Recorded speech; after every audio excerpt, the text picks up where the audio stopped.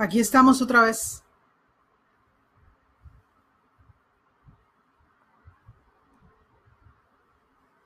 Muy buenas tardes.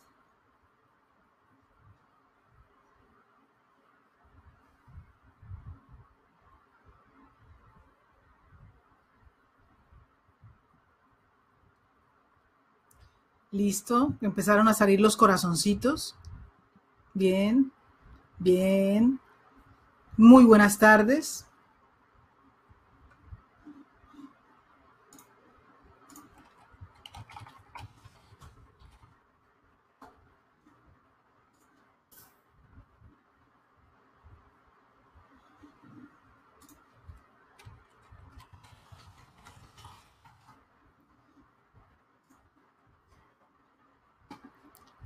Hola, muy buenas tardes. ¿Me, le ¿Me escuchan?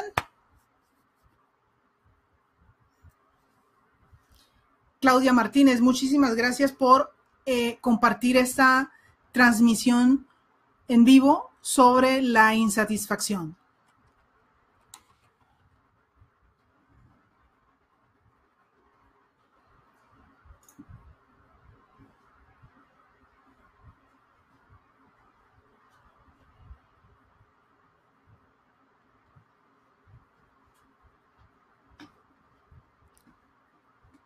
No sé si están comentando y simplemente no leo ningún comentario.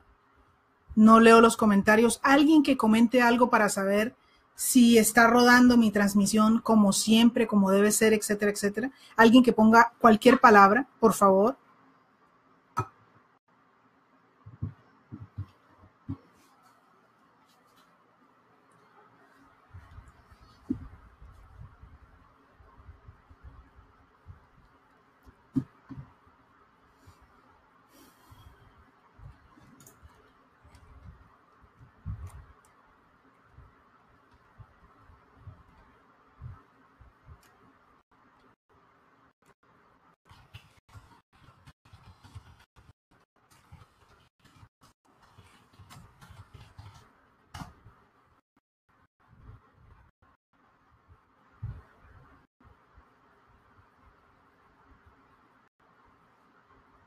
Listo.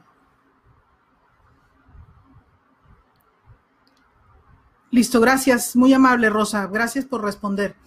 Bueno, el tema de esta transmisión en vivo es, como ya lo dije, la insatisfacción. Gracias a todas las personas que están presentes. Gracias por su compañía. Gracias eh, por seguir de cerca las transmisiones que hago. Y bueno, el tema es, es muy propicio para, creo que para todos los seres humanos, porque incluso las personas que hablamos detrás del micrófono, las que estamos de este otro lado, aprendemos con cada transmisión que hacemos. Las personas que estamos de este lado también estamos aprendiendo. Por lo que lo que voy a decir es importante para mí, para ustedes, para cualquier persona que pueda escucharlo. Yo no sé si en algún momento de, la vida ustedes hayan, ustedes se hayan encontrado con un escrito, un escrito gracioso que habla de, de que, ay, qué vida la mía, alguien quejándose porque tiene una muy mala vida. Y tiene una muy mala vida porque resulta que con todo lo que se va encontrando, esta persona va haciendo un pero. Que si tiene una casa, Ay, pero una casa tan grande, qué rico sería tener la comodidad de un apartamento. Bueno, que si tiene un trabajo físico, dice, ay Dios, qué tan rico sería tener tu propio negocio para no estar sometido a las órdenes de tu jefe. Bueno, que si tiene hijos, ay Dios mío, la gente soltera, ¿cómo estará de bien? Que si, que si está soltera, o soltero, entonces dice, ay Dios, con la falta que hacen los, los, los gritos de los niños en la casa. Se hace falta, se echa de menos un niño en la casa, ¿no? Y así, la persona o el escrito va citando uno por uno los inconvenientes de, de la mayoría de nosotros. Y es en ese sentido en el que nunca o casi nunca estamos contentos con nada. Y si, si, si se nos concede algún deseo, estabas deseando algo y se te dio. La felicidad por eso, por ese deseo concedido, dura muy poquito.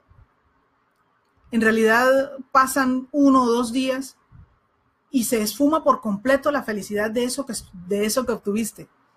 Suponiendo que estás deseando el mejor carro del mundo. Bueno, conseguiste como pudiste ese carro, ya lo tienes. Ahora, ¿qué pasa? Resulta que pasados unos dos, tres, cuatro días, que ya te acostumbras al, a sentir el carro, que ya te acostumbras al olor del carro, que ya te acostumbras a su comodidad, a su andar, que ya lo tomas como una parte cotidiana de tu vida. Entonces es justo en ese momento donde se acaba la felicidad. Es decir, son, es, son la felicidad que obtenemos por esos, eh, el cumplimiento de esos deseos es muy pasajera. Se esfuma rápidamente. Así que alguien me escribió hace unos días y me dijo, normalmente soy una persona que lo tiene todo para ser feliz, pero soy feliz. Tengo el dinero, tengo buena salud, tengo gente que me ama. Sin embargo, no hay manera alguna de que yo pueda experimentar satisfacción, de que yo pueda experimentar felicidad. Y llegábamos a esta conclusión y hablábamos sobre el tema. Es que mientras estemos viviendo en la mente, no va a ser posible encontrar la felicidad, tal como es. O yendo más allá, la alegría, la dicha, que están más allá de la felicidad. La felicidad puede llegar por causa de un regalo, por causa de que el universo te concedió algo que, anhelabas. Sin embargo, la dicha es un estado que, que es permanente y que incluso aparece cuando no tienes motivos o cuando no estás del todo bien. No significa que todo el tiempo te estás riendo o que todo el tiempo eres una persona que está disponible, no. Simplemente puedes agradecer y estar ahí contigo en los momentos en los cuales en los que más te necesitas. Así pues que llegábamos con ella a la conclusión de que mientras vivimos en la mente, esto es, piense y piense y piense, no va a ser fácil encontrar dicha. No va a ser fácil encontrar paz. Hay que pasarse a los terrenos del corazón, hay que vivir en los terrenos del corazón para poder encontrar satisfacción en lo que hacemos, en el lugar en donde estamos, con las personas con, las cuales vivimos o con las circunstancias en las que vivimos. Es fundamental vivir en el corazón, lo que significa sentir más. No, está, no se trata de estar todo el tiempo sonriendo, no. Sentir más, aceptar más y sobre todo esto, perdonar más. Perdonar más y más y más. No cansarnos, Llegará un momento en que no lo necesitemos y se nos avisará, ya no lo necesitas. Qué maravilla, ya entendí, ya comprendí, perfecto. Pero mientras haya infelicidad, mientras haya esta sensación, siempre será preciso perdonarnos. Ahora bien,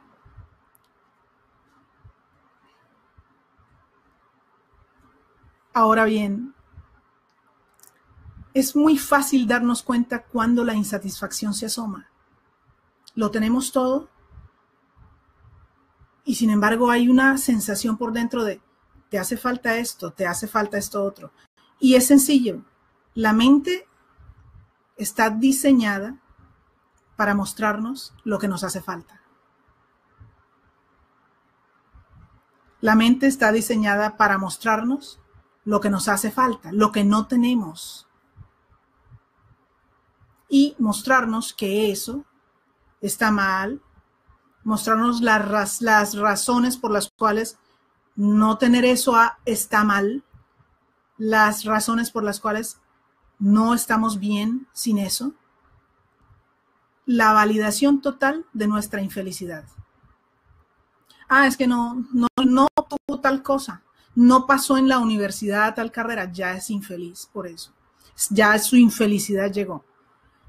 Entonces esa persona se dice a sí misma muchas cosas que le quitan valor, muchas cosas que la desvalorizan. Después de saber que no pasó en la universidad, por ejemplo, o que no obtuvo algo que anhelaba, esa persona comienza un proceso de desvalorización.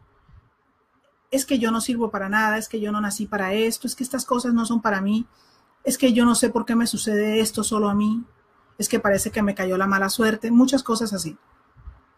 Este proceso de desvalorización, ¿en qué crees que termine? Mínimo, mínimo en un dolor de cabeza. Sí, como les dije en, otra, en otro Facebook Live, el dolor de cabeza y la migraña comienzan con una palabra de desvalorización. ¿Esto a dónde nos lleva? A donde ustedes ya saben, a, algo que ustedes y yo ya sabemos. La importancia que tiene lo que nos decimos a nosotros mismos, la importancia que tiene lo que decimos a otros, la importancia que tiene lo que pensamos, lo que sentimos y nuestra interpretación de la nuestra interpretación de la vida. Créanme que no para todo el mundo es fácil pensar bonito. Pero se trata finalmente de eso, de pensar bonito, aprender a pensar bonito, entrenarnos. Y la vida es un entrenamiento para eso. La vida y cada cosa que nos está sucediendo en este momento es un entrenamiento. Es una pregunta indirecta. Bueno, ¿usted va a poder con esto, sí o no? ¿Cómo es que lo va a manejar? Ese es el entrenamiento. Y hemos aprendido que las personas que logramos agradecer las oscuridades o agradecerle a la vida aún en momentos de oscuridad, recibimos más de eso que estamos dando. Cuando envías gratitud, recibes todos los equivalentes todas las situaciones que son armónicas y que son similares en frecuencia a la gratitud. De ahí que veas a muchas personas que, que les va muy bien o que pueden sobreponerse a las, a las eh, situaciones difíciles de la vida. Simplemente se ocupan de sus pensamientos. Te digo, no es nada sencillo para mucha gente pensar bonito. Ir por la calle, que cuando estás en la calle recibes información desde todos los ángulos, información de toda clase. Y esa información que recibes te hace pensar, interpretar, analizar, calificar, juzgar y ponerte de pleito con algo lo que sucede es que todas esas situaciones con las que nosotros nos, peleamos vienen directo en contra de nosotros mismos. Todas esas situaciones que nosotros vemos afuera bien, se vienen hacia nosotros y nos atacan de vuelta. Y lo sentimos. Simplemente eso que enviamos regresó. Así que el mensaje esencial de, este, de esta transmisión es, si tú tienes claro, si tú tienes claro esto que te voy a decir, que la mente está diseñada para hacerte saber lo que te hace falta exclusivamente, si tú sabes que tu mente está diseñada para generalmente traerte recuerdos dolorosos o circunstancias que no necesitas. Tú sabes que está diseñada para recordar o para traer creencias a tu momento presente y empañarlo. Cuando sabes eso,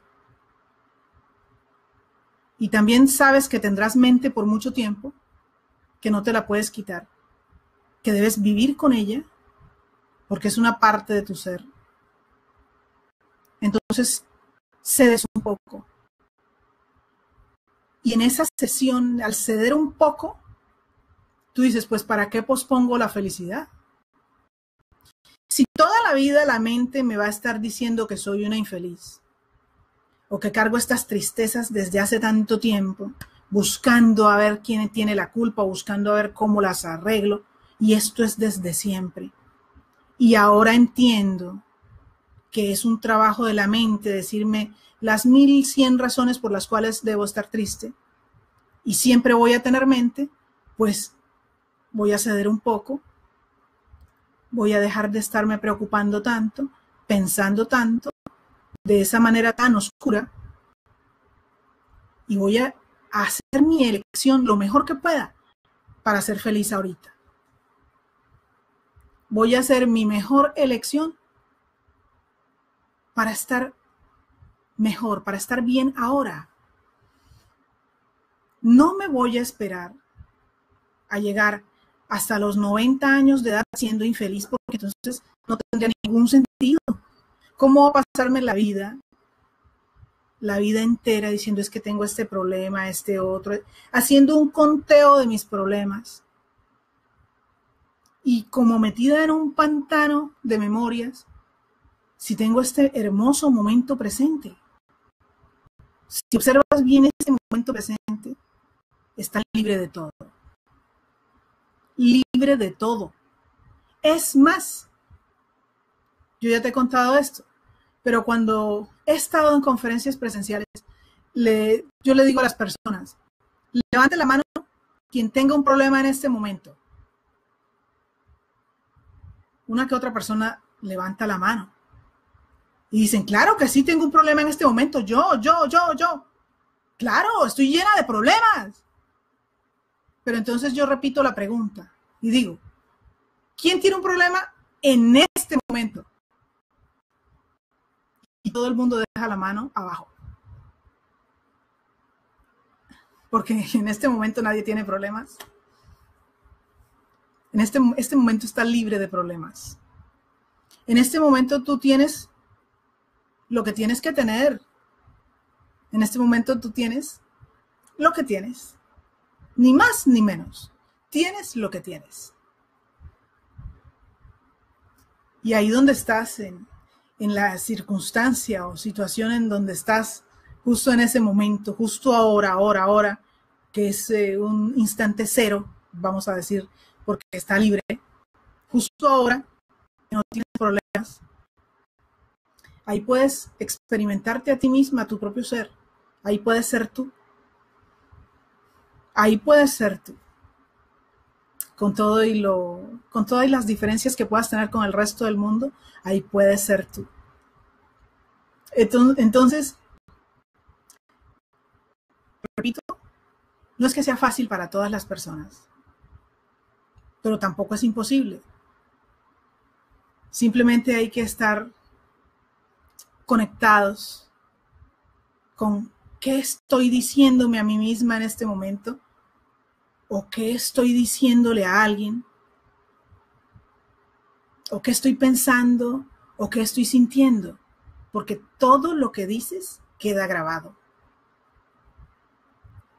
Todo lo que dices va a un lugar llamado subconsciente, donde hay este niña o niño interior que de todo toma nota, todo lo va grabando. Dijo que era infeliz hoy, primero de septiembre del 2017. Vamos a anotarlo. Dijo que era una infeliz. Dijo el día 30 de abril, dijo que no tenía un quinto para pagar todas las deudas que tenía pendientes. Vamos a anotar eso. Esta mujer no tiene plata o esta persona, este hombre no tiene plata para pagar sus deudas. Todo eso que está quedando anotado crea los momentos que van a venir. Y luego nosotros decimos, Dios mío, pero es que ya ni Dios me escucha. Pero es que estamos llenos, llenos de todas estas ideas. Y simplemente hay que empezar a tener la palabra correcta, a cuidar lo que hablamos, porque esto que estoy diciendo sobre la insatisfacción, Comienza con un pensamiento que va creciendo. Algo pequeñito. ¿Te hizo falta esto? Y va creciendo, creciendo, creciendo y se hace inmenso. Así que la persona cuando los pensamientos, porque es que ellos hablan, no importa lo que haya físicamente, la persona le cree a la mente. Le cree a la mente. Y tenemos estas, estas situaciones externas, que lo externo se toca bastante con lo interno, es, lo externo y lo interno se tocan. Tenemos estas situaciones externas que son, que a veces son chistosas y a veces no, que, es, que consisten en esto, en lo siguiente. Resulta que la muchacha está soltera y, y llega a la casa de las tías. Perdona acá a las tías que estén, yo sé que no son todas las tías, es un ejemplo. Llega a la casa de las tías y las tías enseguida le dicen, mija, ¿y para cuándo el novio? Y la muchacha, ah, sí, tía, pronto. Bueno, supóngase que muchacha ya pasa tiempo, tiene su novio y se casó. Se casó con su novio. Luego va de nuevo a la casa de las tías y las tías le dicen, mija, ¿y para cuándo el primer bebé? Y eso que ya que me volé la parte de cuando son novios y las tías dicen, mija, ¿y para cuándo la boda? ¿no? Esa me la salté. Bueno, mija, ¿y para cuándo el bebé? La muchacha, pronto, tía, pronto. Bueno, pasa el tiempo, tiene su primer bebé, Luego de que tiene su primer bebé, vuelven con el bebé a la casa de las tías. El bebé es un niño. Y las tías dicen, mija, ¿y para cuándo la niña? La muchacha, pues esperemos que pronto. Mijita, porque la parejita. La muchacha dice, esperemos que pronto. Y así, ya tiene la muchacha y su esposo la niña van a la casa de las tías, que yo no sé por qué no han dejado de ir. van a la casa de las tías. En la casa de las tías, otra vez, vienen los temas siguientes, ¿no? Eh, cuando entra la niña al colegio. Eh, después del colegio viene que para cuándo la graduación, para cuándo la universidad, que para cuándo el apartamento propio y una lista de cosas que la sociedad ha instituido que debemos tener para ser felices. Un montón de cosas. Y de esto se desprenden muchos, muchos otros temas como el hecho de tener hijos con conciencia, conscientemente. ¿Mm? No para por las tías, porque las tías, o algunas tías, por, no, no, no porque las tías lo hagan, ¿sí? También soy tía. Eh, sino porque es una forma de decirte que hay voces externas haciendo preguntas.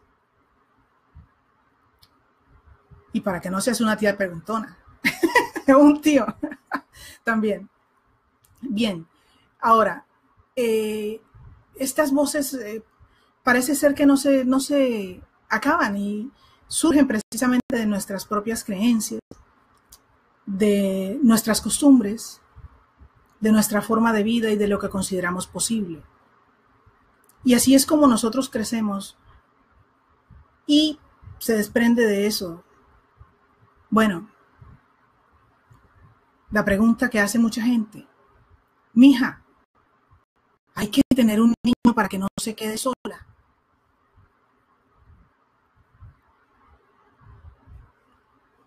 Eso ya, ese término que todavía se escucha, esa, palabra, esa frase todavía se escucha. Las personas van aprendiendo con el tiempo que la soledad no tiene nada que ver con eso. Todavía se escucha. Poco a poco vas aprendiendo que eso no es real. ¿Sí? No es real. Y que los niños deben venir a este mundo de una forma más consciente y más amorosa. En medio de un ambiente más amoroso, eh, no sea con el fin exclusivo de proporcionarnos a nosotros, solamente a nosotros, ciertas cosas que podemos adquirir ahora. Pero bien, esto es una extensión del tema que va mucho más allá. Pero tiene que ver con la insatisfacción. Por insatisfacción muchas veces damos pasos hacia cosas que no necesitamos. Por insatisfacción hacemos compras que no necesitamos. Por insatisfacción muchas veces decimos, Dios mío, estoy tan deprimida, me voy para un almacén. Se va la persona para ese almacén y se trae un montón de cosas que ni siquiera se va a poner, que no le van a servir y que sí van a hacer que haga un gasto. Bueno, pasa lo de siempre. Transcurren dos días y aún así, todo, es, todo esto que compró, toda esta felicidad que eso que compró le dio, fue momentánea. Así que nosotros estamos trabajando, porque sé que trabajas duro en esto, sé que estás trabajando duro en ti. Estamos trabajando constantemente en ser felices justo en este momento, en lograr la satisfacción con las pequeñas grandes cosas. Esta mañana coloqué una frase que tiene que ver con esto en, en mi página de Facebook y que dice que te digas a ti misma, que qué bonito es decirte a ti misma, gracias por todo lo que logras, gracias por las batallas que has ganado, te amo, ese te amo no es fácil para muchas, lo sé. Pero se puede llegar allí. Gracias por las batallas que has logrado. Es el primer, es un paso previo. Gracias por todo lo que logras día con día. Gracias. Te agradezco. Poder mirarte al espejo y decírtelo. Te agradezco. Has pasado por tantas cosas y aquí sigues. Aquí sigues.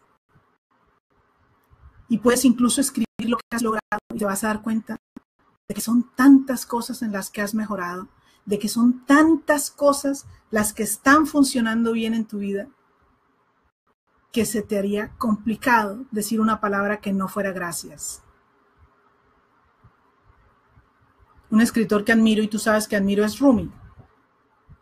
Por eso Rumi escribió, solo nos resta danzar y celebrar. Solamente eso. Y espero que así sea. Espero que así sea para todos nosotros, que solo, que sintamos que solo nos resta danzar y celebrar. Gente maravillosa, es eso lo que quería decirles. No comprendo por qué razón no se me hace fácil leer ningún comentario como es costumbre. Por esto no puedo leer preguntas porque simplemente no me aparecen los comentarios. Siempre tengo un montón de comentarios. En esta ocasión no es así. Por eso no pude ni saludar a las personas como siempre hago al inicio. Y ahorita no puedo leer porque no hay absolutamente nada y no sé a qué se debe. Si tienen preguntas pendientes o cualquier cosa, pueden, pueden vamos a posponerlo para el próximo Facebook Live. A ver si de, de repente funciona de otra manera y las podemos resolver. Como dato final, Recuerden, bueno, 18 de septiembre, taller 7 días sobre el perdón. A diario va a haber un video referente al tema para facilitar tus procesos de perdón. Enlaces por doquier con la información en mi página de Facebook. Entras a mi página de Facebook y lo que hay es información sobre mis talleres siempre entras directo y puedes ver cada publicación a tu gusto. ¿Ok? Bien, pendientes. Personas que les esté costando trabajo salir adelante de alguna manera. Personas que se sientan enfermas. Personas que se sientan cansadas. Personas con problemas de relaciones. Personas con bloqueos. Personas que digan, a mí ni Dios me escucha. Personas con el diálogo interior de mis oraciones no sé ni para dónde se están yendo, pero para el cielo o para donde Dios no son, no es. Porque, pues no me oye. Sí, ok, hay bloqueos. A veces se bloquea ese cordón que une nuestra conexión con nuestro yo sagrado y hay que limpiarlo. Bien, gente maravillosa, en vista de que no les puedo leer, les mando un abrazo, un beso, deseo que se la pasen muy bien ya saben que les amo. Hasta pronto.